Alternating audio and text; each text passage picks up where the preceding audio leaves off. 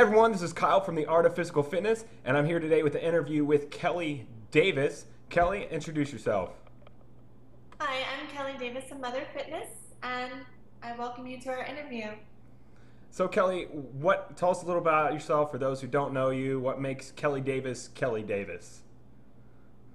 Oh, that's a loaded question. Um, I really started Mother Fitness because I got into the online community of fitness and nutrition for women, and I thought that there was sort of um, this divide of how to achieve the goals that we were we were seeking as far as getting in shape and being healthy Right. and managing everything else in our lives. So being a busy mom, a career woman, um, and how do all these pieces fit together? So that's sort of what drove me to starting Mother Fitness and building this platform where women could feel like, you know, I don't have to train constantly and starve myself to death and, you know, go Right. crazy trying to do all these things. And I wanted to have sort of that, that atmosphere where it, women can learn how to fit these things into their life um, rather than trying to mold their life around fitness and health.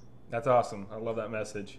Um, yeah, for me, that's the same deal. I used to be real serious about it and used to control my life, and then it got to a point where it was just a breaking point where I couldn't have that anymore, and had to learn Yeah. how to adapt to it and adapt how to make life a priority and realize that fitness is actually in health, nutrition, all that. It's more a part of it's an all-encompassing thing as opposed to something that everything needs to be focused on. If that makes any sense, my ramblings make sense. Yeah, and when your friends stop calling you and they don't Right. invite you out anymore, that's got to be a sign. You know, Right. You're a little, you're a little diehard and you need to back off. So, um, I was reading over your bio on your website, looking at your background where you talked about it. Uh, briefly go into that, and I know you in it you talked about there was a low point for you um, that basically triggered you to start making changes, and then there was why when you started to make the changes for a healthy lifestyle. There's another point where you um, sort of came to a pass where you knew you had to change even further. Yeah, absolutely. I um, it was after I had my second child, and with my son, even before I got pregnant with him, I, I kind of fell out of the gym routine. I was busy with my daughter and work, and I let everything else kind of overwhelm me. Right. And um, by the time I got pregnant with my son, I had already gained. I had already weighed more than I had ever weighed. I wasn't significantly overweight, but you know, I probably was carrying an extra 10 pounds. And then through my pregnancy with him, I didn't work out at all. I had a high risk pregnancy. Um, I gained a substantial amount of weight. And after I had him, a lot of it didn't come off. And I was sort of stuck in this mode. Well, you know, it's true, kids ruin your body. Right. You know, this is my mom body. I'm just stuck with that. And I was really good at making all these excuses um, as to why I I was this way, and I would sort of venture back into the gym and get on the treadmill, and all all I would think about is, oh, I'm not in the shape I used to be. You know, I could feel the fat jiggling on my thighs when I walk, and it was just like everything that every way that I could potentially talk myself out of being there, I would do. And I sort of came to this realization that I was miserable, and I was the one creating this misery so I was the only one that could change it, and um, that was sort of my aha moment, where like, okay, you don't have to live like this. You're Right. you're making this life for yourself, and you're the one who needs to make a difference.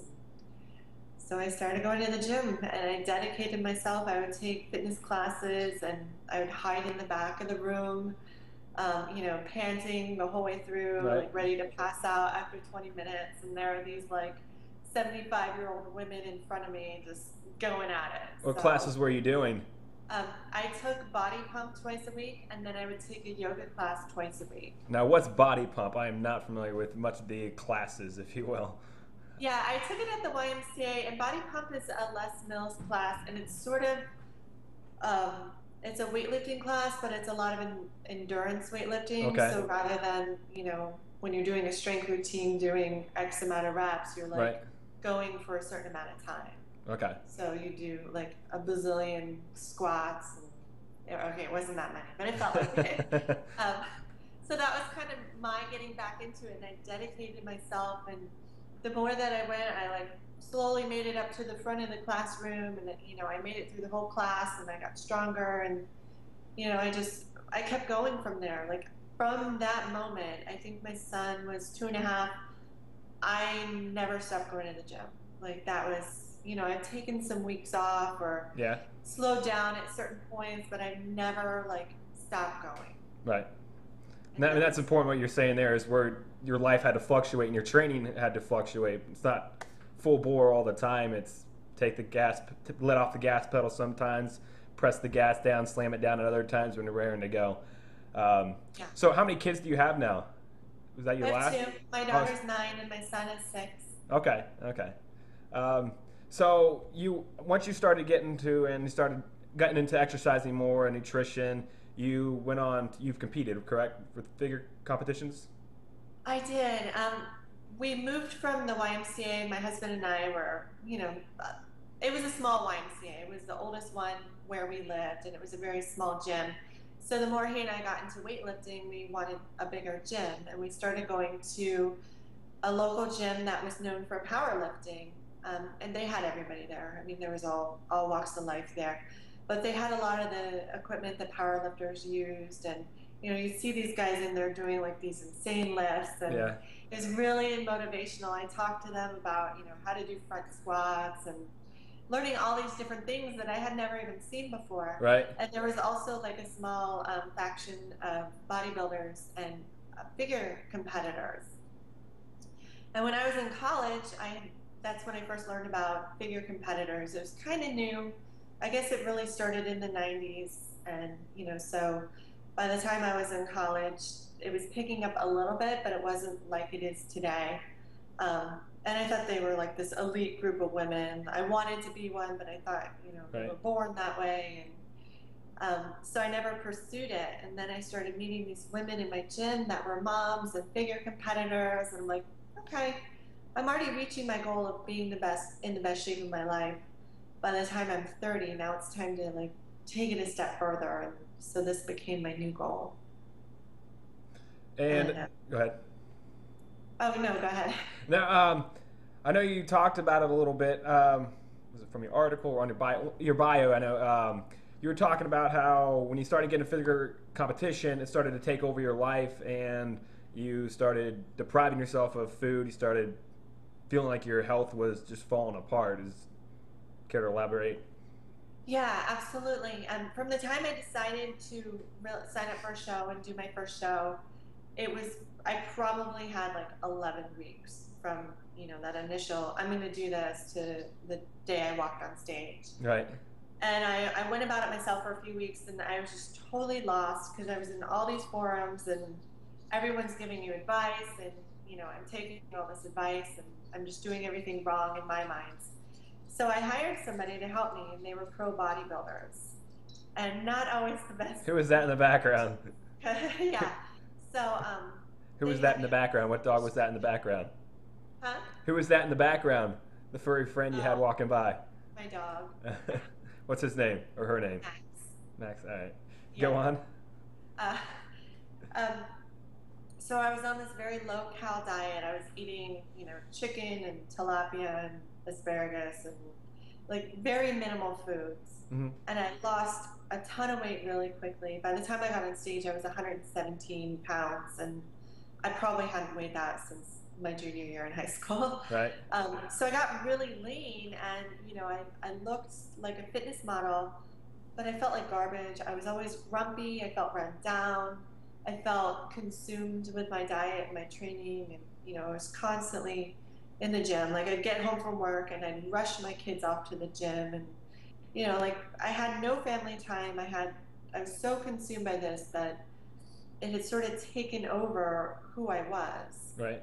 Um, so after I did that show, I sort of reevaluated everything and I started reading, really reading into, not just reading, but reading into what all these women on these forums were doing.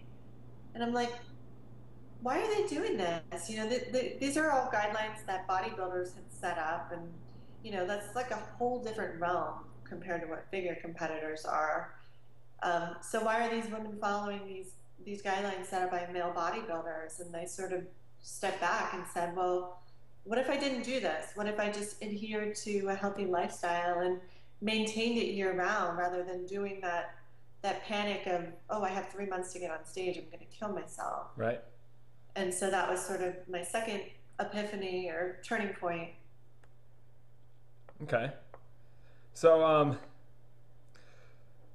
what with that all said once you made those changes what training changes did you make and nutrition changes did you make like tactically if you will um I was still sort of stuck in that that whole, you know, do 12 exercises a workout type thing for a while.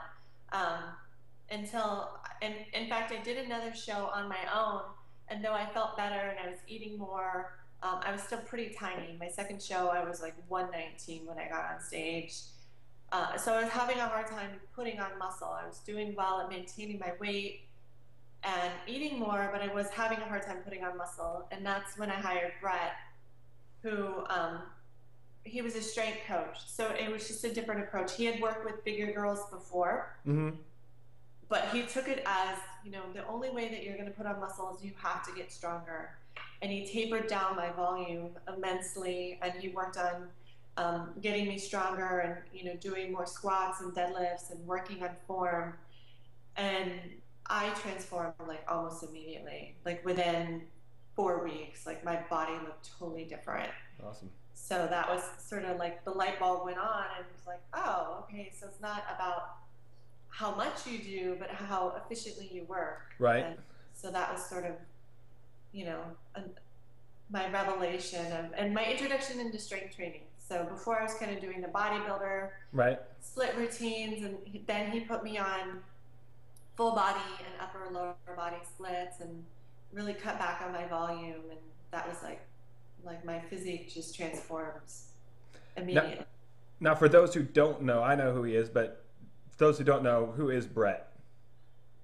Um, Brett is he's known around he's I don't know, he wears many hats.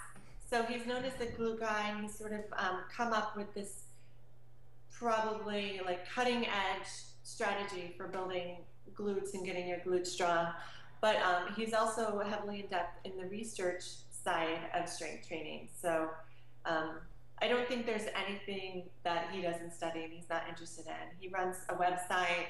Um, he's pretty prolific writer on T Nation, and he's also um, the co-author of Strong Curves. So he came up with this program, Strong Curves, and he invited me to write the book with him. And so there's my book plug. how, how is that coming along? Good. Um, we actually sort of turned the book. We doubled the book. Okay. Over recent months, and um, so it's twice the, twice the size, and it's going to come out in April, and it's really just going to be like, hopefully, the go-to manual for female strength training. Awesome. Awesome. Um, I came. Ac- I want to talk about this. I came across an article you wrote for uh, Tony Gentilcore called "A House Divided." Do you remember that article? Yeah. Yeah, I, I thought it was an awesome article, and part of it, the one quote that like really resonated me with me was where you said, "I don't want to live a little. I want to live to the fullest." That, like I said, that resonates with me. I can't tell you how much it. Uh, speaks with what I'm trying to spread with the art of physical fitness, the message I'm trying to spread. So, um, could you perhaps go a little further into what you're talking about in that article and uh, the message you're trying to uh, give to other to women? Yeah, um, I kind of I wrote that article. Um, in sort of in a response to the fact that a, a lot of my immediate family members had, you know, all these illnesses and and they were band-aided by the medical community. So it, rather than addressing, you know, the lifestyle issues that could lead up to these illnesses, they were just undergoing all these treatments and going on medication and nobody was addressing, you know, the underlying issue of, well, we need to help you make these lifestyle changes. And I think for a lot of people who get so far out of shape, I guess, or out right. of health, um, it's very, very difficult to take those initial steps.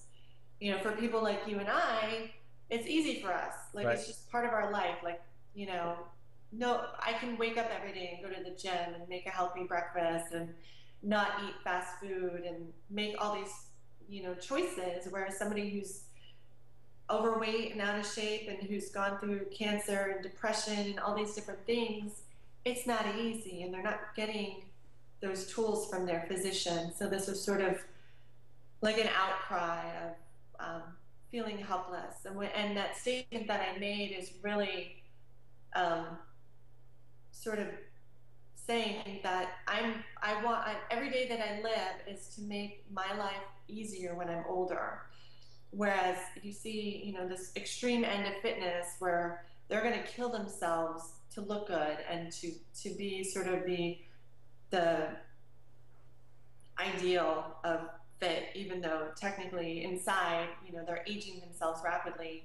Right. To the other extreme is somebody who doesn't ever work out, who who doesn't make healthy food choices, you know. So I kind of measure those those two extremes as kind of equal. You know, it's like either you're killing yourself by by overdoing it or you're killing yourself by underdoing it. And so my message was you have to find that balance and and be that medium to say, you know, there's there's got to be the right education coming from towards either sides to sort of say, you know, this is the way to do it. Right. You're you can't underdo it or overdo it. Are you familiar with? Uh, do you read much? I do. Are you familiar with? Um, it's an old book, but "Awaken the Giant Within" by Tony Robbins. Uh huh. Yeah, I mean that's one of my favorite books. I, I talk about it all the time, but it's one of my Yeah. favorite books, and I mean that really ties into what he the message he tries to um, get across is the the the differences between pain and pleasure, and someone who's overweight and won't make the changes. Uh, those how they're in this case they're seeing more pain to they they associate pain to eating the way that it will take to diet and exercising. They see more pain in that than the pleasure of not having developing heart diseases and cancers and all that type of stuff. Yeah. Um, yeah, I mean it's a thing I saw in, a, in the article you're talking about it with your mom. This is something I've seen with people, uh, individuals in my family, and a lot of it comes down to is I'm the I'm the youngest in my family, so I'm trying to give advice as they still see me as the little five year old kid running around with curly hair, but um, now it's Yeah. nothing much is there. But um, so it's I get I don't know if it requires for them to have an outside source come into them for them to be able to because they just can't take you seriously because you're their younger child you're their child and they'll always see you as their baby i'm not i'm not sure how much that plays um, a part in it or if in, or if there's something where we need to bring outside help in with our family members even though we we know what, what they need to do but to actually get them to pull the trigger on doing the things that they need to find some outside inspiration to be able to um, ignite the fire if you will. Yeah, and I think um, just finding that drive, you know, like it's so much easier to go home and eat a bowl of macaroni and cheese than to, you know, prepare like to roast a chicken with vegetables and you know, so it's when you're caught up in that lifestyle, it's just you want you want easy and you want immediate, you know, rather than and I think too, like we're we're kind of junkies for um, instant gratification. right So just the whole mentality of, oh my gosh, I'm 40 pounds overweight, you know, that sticks in their head. Like I have to lose 40 pounds, and that seems almost impossible. To where rather than okay, well, I'm going to, you know, cut out bread Right. and walk 20 minutes a day. Yeah. Like the a slow steps over have time mentality of, of taking those baby steps. right Um, and I just also think, you know, in the medical community, I think it's becoming more prevalent to offer nutritional support. But, you know, when my mom had cancer 10 years ago, there was the only discussion of nutrition was her physician said, well, don't don't eat soy anymore because soy Right. is, you know, a phytoestrogen. So my mother has never touched soy in the past 10 years, but that's but she's she's not getting any healthier. Right. So, and it's you know, she's go ahead um, it's just having that realization that you know you can band-aid things with med- medication but you're not getting any better right I, I think a lot of people don't connect those two dots. Yeah, and like going back to what you're saying about your mom and the doctor, I mean that's a lot of the thing is these people they keep on getting conflicting. Now research is always developing and changing, but really the human body hasn't changed, and but the general public who doesn't know any better keeps on getting these conflicting ideas. Ten years ago it was fats were bad, and now all of a sudden carbs are bad, and then it's just there's no set idea of a way to approach it, and so there's too much confusion, and so they just you know give up on it because they don't want to take the time to figure it out. Yeah, it's like how many fad diets can you try? Right.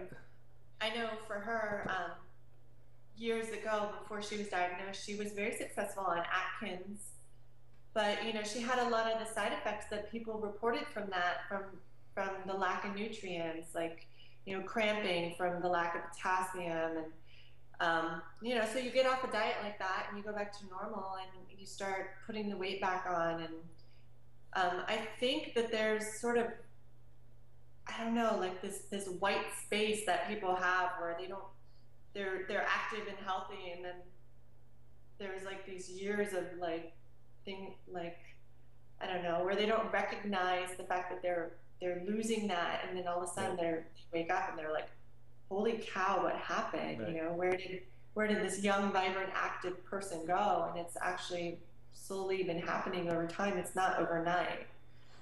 Yeah. Um, so I think a lot of people just have to get to that point where they're so uncomfortable with who they are. They have this major health scare to, you know, just sort of kick their butt in here. And it doesn't always work that, like that. Yeah.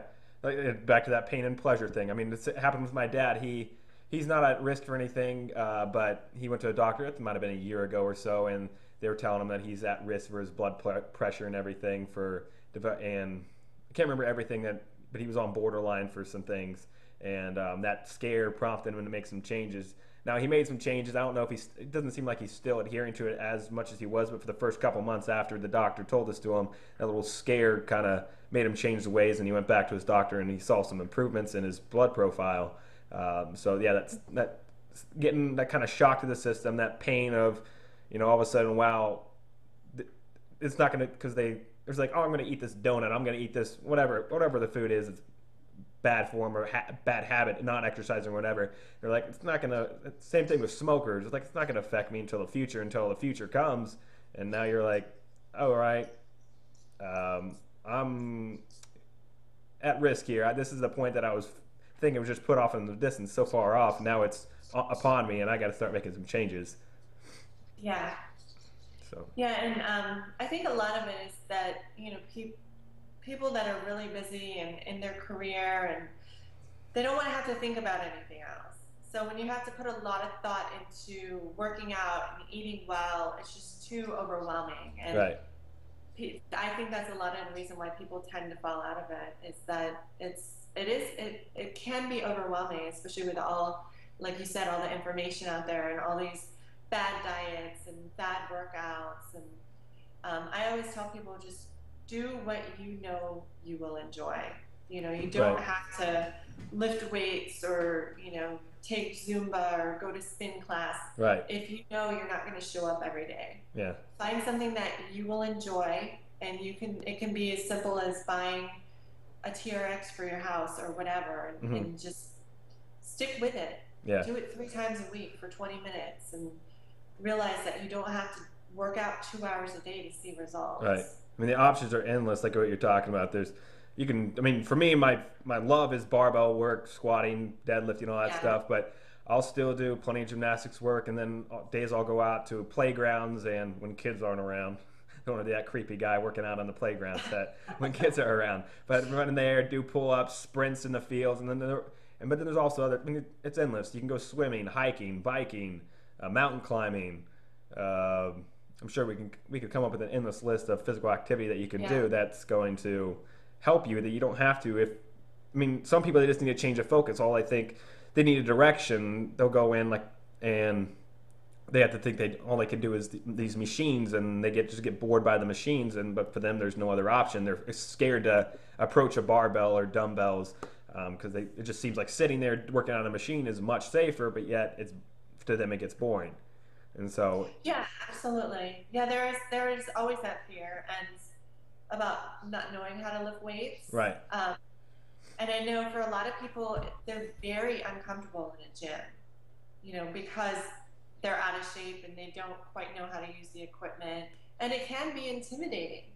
So um, you, you don't have to go to a gym, but you have to find that one thing that you love or those two things that you really love and just do it. Like set aside that time, look at your schedule and think, okay, how many hours a week do I watch TV or do I do I hang out on the internet or you know how much time do I waste every week? Right. And just find those spots in that time. Like okay, well, rather than you know watching the Daily Show every night or something, I'm going to take three of those nights and do a 20 minute workout. You know, it's just making that space for yourself and realizing that it's it's not 10 hours a week. Right. You know, it could be two hours a week. Right. And, it, and that's why I like, even though I mean, me owning my own gym, so it's not really a big issue for me, and I'm d- just addicted to training. But for other people, it might be tough. I'm a big supporter of getting stuff to have your own home gym, whatever it may be kettlebells, barbells, gymnastics type equipment. Um, just going out to Home Depot. Home Depot is like the best weightlifting equipment that you can find around if you're creative yeah. enough. But um, I mean, just creating your own home gym that puts it right in front of your face, and um, you, if you put it in a spot where you're walking by it every day, or you have to walk around it, it kind of reminds you, hey, I got to work out today. Or even if you do something, you could put. If I mean, not, I'm not that big of a t- watcher of TV. Um, I, might, I might watch an hour a day, if that, and that's if I'm if like my favorite team, the Cincinnati Reds, are on playing baseball. Uh, I might watch part of that game, but really, I'm not that big of a TV watcher. But if if that's what you need to kind of keep yourself interested in it, uh, exercising around your TV can keep you engaged in the work without really thinking that you're working out too much. Right.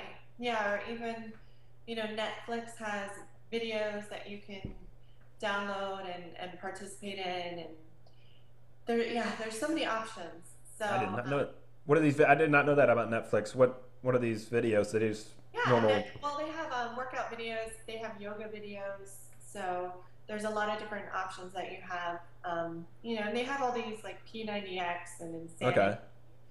You know, anything that you can. I, I think my brother um, does Insanity through Netflix. So, yeah, if you have time to watch TV, you definitely have time to exercise. And whether that's putting your stationary bike in front of the TV or pacing in circles around your living room while you know your talk show is on, it doesn't matter. Right. It's just get up and get moving. Um, what was I going to say? Uh, thought I had just passed by me. Um, so I wanted to go back to something kind of off topic, but still on topic. Something you were talking about way at the beginning about this powerlifting gym you were training at. What what was the name of that gym? Oh, it was World Gym in Fort okay. Myers, and um, it was started. It had been around forever, and it was right. great because the clientele, most of them had been there since the beginning. It was such yeah. a community, and the gentleman that owned it used to be a competitive powerlifter. He was mm-hmm. retired, but he would still get in there with those young guys and right. bench, and he was incredible. Yeah.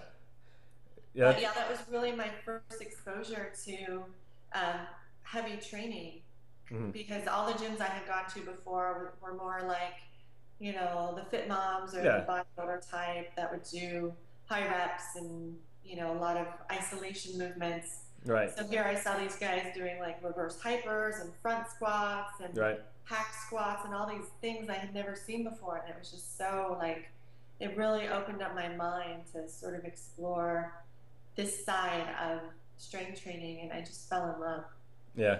Yeah, same, similar to me. I, when I was in high school, started training. I went, there's a place in town called Power Station. Uh, I'm, not, I'm not sure if you know. They have a. There, I don't know if you know the name Mike Ferguson. That sounds okay. Well, he he actually it's called Power State. The gym's been around. It's one of those hardcore powerlifting gyms. There's powerlifters, bodybuilders. He's an ex like Marine and sheriff, the guy who owns the place. But um, he has a powerlifting um, competition that just happened around here maybe two or three weeks ago. That was um, a lot of the other guy, a lot of the guys. Brian Schwab, if you know him.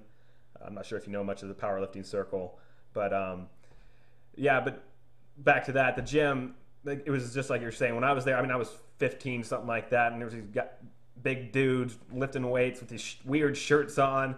powerlifting shirts. I, I didn't know what they were doing, screaming, chalk on their hands and stuff. But I felt I fell in love with it. I ate it all up. But it was surreal at the time compared to because before that I was just training at some normal uh, 20 it was 24 hour fit it was, around at the time but it was a 24 hour gym where yeah. you know real clean chrome equipment if you will and then i go to this place yeah. chalk all over the place guys grunting loud music going on bodybuilders and uh, power lifters all around it was that just really is what ignited me to um, to get me going into it that really like struck a chord with me for uh, my yeah. passion that i have for it that's good yeah it's always nice to sort of walk into this you know not not really seeking it out and almost not knowing that it exists and then sort of walking in and realizing like huh i'm home this is exactly where right. i need to be yeah but it's definitely an area that a, a gym where a lot of people could uh, um, get uh, intimidated by it definitely not something yeah. for I mean, for you, from your coming from your point of view, especially for a lady, I mean, a guy screaming, yelling, lifting heavy weights, that's kind of like what we're drilled into our mind and society that we're supposed to do anyway. So it's kind of feeling at home. But for a girl, it's it's it's different. Yeah, and he actually um, he had the gym set up very smart. The front of the the room, there was like a front room where all the standard equipment was, and um, you know all the cardio and, and machines and some benches and squat racks. Right. And then like way in the back in this closed off room with the door shut was all the power lifters and they would go in there and they'd shut the door and they'd blare their like screamo music and right. you know like they do their thing and you know that they were in there and sometimes they'd come out and train in the regular room but right. it's just you know they sometimes they leave the door open and you can see what they were doing and um, yeah it was just really inspiring to sort of have this there, there weren't any women in their group at the time i don't know there might be now but um, they weren't elitist at all. Like they were very inviting, and you know they didn't think they owned the gym. Um, so it was pretty cool. Like they they were down to earth. You can go talk to them and ask them questions, and it was pretty cool. Awesome. So now is the time. I, w- I want you to just boast about yourself. What what are some of your best lifts in the gym? Uh, I it's funny like I used to really be into getting stronger and I wanted to like max out my deadlift and right. um, now I'm sort of more exploring and like learning different things. Like I bought kettlebells so I'm learning those mm-hmm. and um, you know I I maxed my deadlift at like 285 forever ago. I haven't really worked on that. Um, right. I maxed my squat at 185 and that's a full range. It was a no half squat Um, right now, I'm kind of working on, on my my hip thrust and my glute bridge. So I maxed my right. glute bridge at 435, and my hip thrust was I don't know, like 365. I'm gonna go for 400 with that. Yeah. Um, but yeah, I haven't really been like training super heavy. I've never had a strong upper body. Like my bench press is sad. Right. I think I think I maxed it at like 115 or something and gave up. So do you bench much, or what do you do for your upper body? Uh, yeah, I just I don't know. I've been doing a lot of kettlebells. Um, you know, kettlebells, cleans, presses, mm-hmm. SOTS press is like one of my new favorite things. That's like killer. Um, yeah. Shoulder presses, pull-ups, rows, floor presses. So I, I do a lot of variety with my um, upper body, but I don't necessarily go for you know those singles and triples like I right. used to. I just gave up on okay. that. Yeah. Did it beat you up, or just didn't enjoy it, or you just no, wanted to try something new? It. I just felt. Um, I guess maybe because I trained by myself, I felt that I wasn't really able to push to the limits, and I right. to the point, you know, where I sort of maxed out with my singles, and like if I didn't have anybody else around spotting me, I, I chickened out. So I still right. enjoy, you know, lifting upper body. I just do it more for, I don't know, for fun than, you know, trying to push for those heavy goals. Now you're gonna kind of going off topic again, but still on topic. Are you gonna be competing anytime soon? No, I toy with that. My last show was a year ago, and I work okay. with um, Alan Aragon with nutrition, And Right. I told him like if I don't get my pro card, I was doing the OCB uh, pro qualifier. I said I think I'm done. Like you know, if I don't go pro, like, I think I'm done. And I placed fourth, and I didn't win my pro card. And I just I sort of looked back and realized you know that I wanted to pursue other things in fitness and sort of work on the writing side and start Right. working with clients and all that. So I get that itch, and I'm always, you know, kind of to the point where, like, in six weeks, I could always walk on stage if I wanted to. Right. Um, but I haven't had, you know, I haven't had that innate drive that says, okay, you got to do this again.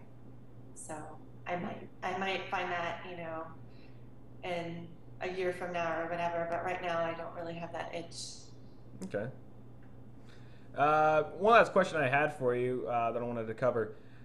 Do you, what type of nutritional plan do you follow? Do you follow anything that like a lot of the not fat? I don't think they're they're fads because they're popular now, but at the same time, I think that they have merit, like intermittent fasting and carb Yeah. backloading. But do you follow anything like that, or do you just eat clean and that's your life, or what do you do?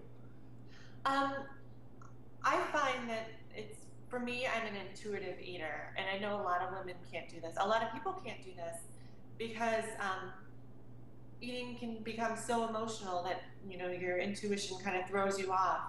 Um, but for me, like if I try intermittent fasting or carb backloading or whatever, it works sometimes and it doesn't work other times. So for me, I can some days wake up and not eat until two o'clock and be totally fine. And it's nothing intentional. It's just I'm listening to my hunger and whether or not it's there. And Right. other times I wake up and I'm like ravenous at nine in the morning. Mm-hmm. So I don't ever want my eating to become a distraction. Right. And sometimes I find when you adhere like intermittent fasting or any of these other things, eating can become Sorry about that. I have one of those too. I'm like, please let the mail come early so he doesn't bark. um, and I know that doesn't work for everybody. A lot of people need they need that goal and they need that plan and they need to weigh their food and measure every day. For me, I, Yeah. I it drives me crazy if I have to think Yeah. too much about eating. Yeah, I used to be the same way. I used to like count everything every day, tracked all my calories, and then just got to a point of craziness, and um, then I just I just eat like you're saying. What I I know the right choices to make, and I eat them when I do. I don't count calories or anything.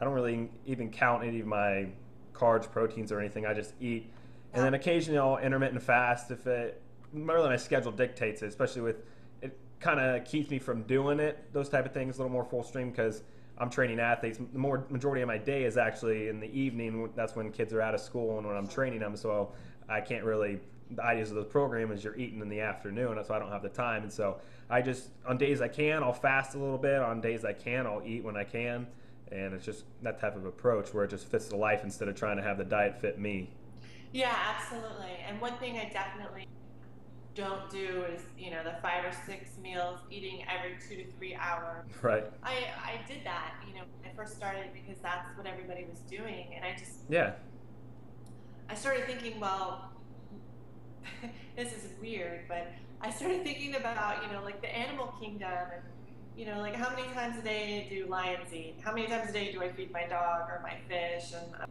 they right That'd be crazy if I fed my dog six times a day, you know? Like, it was a weird thought process. But I felt like. and your dog is ripped probably i would guess Huh?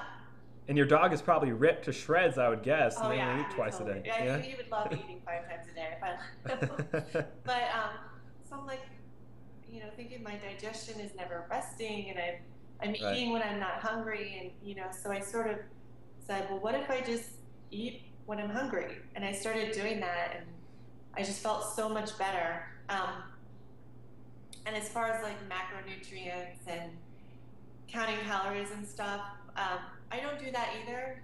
I guess because I've sort of learned what works for me, and I can I cook so much that I'm really good at like eyeballing portions and stuff like that. But I do sometimes get to the point like, okay, I'm, I'm like I'm retaining a lot of water, or I've put on a few pounds, and so I will take a couple days and start writing down what I'm eating, so I can evaluate like what's causing this. But Yeah. other than that, I'm, you know, I'm, I, and I guess I'm good at saying, okay, well, you had a couple of glasses of wine and some cake dinner last night. You know, I keep that in my head so I don't do that every night. You know. Right. Yeah. It's all push and a pull aspect. Yeah. You know, preparing yourself. I mean, yeah, I don't strict. I don't. You probably did it just like you're describing your past, where you limited yourself when you're out with friends or during holidays and stuff, and limited yourself eating wise. And that just eventually that just weighs on you, and you want to take part in stuff. I mean, I'm not saying overindulge, but I mean, I'll have come Christmas time when my mom makes. My mom loves to bake, and she's making all these cookies and I don't know if you know what Buckeyes are, but oh, yeah. uh, yeah, and so she makes all this stuff. I love the Buckeyes, Yes. and so I mean, but I adjust my diet accordingly and my training accordingly and everything to coincide with it, so I can still have my cake and eat it too, literally and figuratively. Yeah, and you know, I think a lot of people struggle with that. So you have to you have to get to that point. You know, it, it's it's not immediate. You can't be 30 pounds overweight and you know do what we do. I think you have to sort of get to that point of understanding how your body responds to food and what you can and ca- cannot eat and how much of what you can eat. So it is definitely a learned process. You know, like for, Right. for you and I, it is intuitive like we understand our body we know when we don't feel good and why we don't feel good and how to change that Right. but for a lot of people struggling with weight issues um, i think they do have to track and they do have to measure until they really understand you know what's going on and what works and what doesn't Right. Well, outstanding. Um, that's all I had. I just want to. Do you want to talk about your book just a little bit more? Or do you want to? Again, when does it come out? Yeah, um, so I wrote, I co-authored Strong Curves with Brett Contreras, and it's a- female strength training book, but it's really about um, improving body composition and really Mhm. working on those curves, like we say. Um, Right. And it's a lot of emphasis on building a great butt, so every woman wants.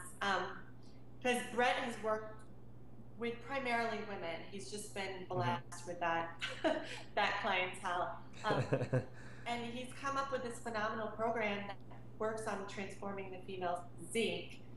Um, you know, and I was one of one of his most successful clients because I adhered to everything he taught me. And Right. um, being that I had a writing background, he kind of pulled me on board with the project. So basically, you've got your we have four different programs in it, and they're all 12 week programs. So we have a, a beginner, intermediate, advanced, and then no, I'm sorry, a beginner, um, advanced body weight and glute only workout. So you have all Mhm. these different options in there. Each program is 12 weeks and it's all progressive. Um, we have a nutritional guideline. It's not necessarily a, you know, a diet, but it sort of gives you a nutritional guideline. And then in the back of the book, we have an entire exercise index with about 260 exercises. They're all Okay. um, full colored photos with detailed description on how to do the exercises um, as well. So it's sort of an exercise Bible, like thrown in the back of this book. So you never get bored. There's the program that has the exercises in it, and then we teach you how to go in the back of the book and pull out different exercises and design your own program. So I, I That's really unique. Um, you know, there's not many books out there that offer this, and it comes out April 2nd. So we're really excited for that. And you, where could you get it when it comes out? Can you pre-order it at all? Yeah, so right now um, you can go to Amazon or BarnesandNoble.com and pre-order the book. Um, Okay. And it's just sitting there waiting for you. Uh, I'll put a link down below the video when this gets posted, and uh, so that they can both. Bar, does Bar, Barnes and Noble has it online, right? You said Barnes and Noble and Amazon. A- Amazon. Okay. Yeah. Yeah, I'll, I'll uh, post a link so people, if anyone interested in uh, getting that pre-ordered, so it gets to you on the date, April second. You said. Yeah. All right. Um, so, any final thoughts? No, Any final I, things you I wanna really express now? appreciate you having me. This is my first video interview, so um, Oh, it's my pleasure. It's great to have you on. yeah, thanks so much. Yes, thank you. Uh, so this was Kyle from the Art of Physical Fitness with Kellie Davis, and uh, until next time, I want to thank you for stopping by. Thank Bye. you.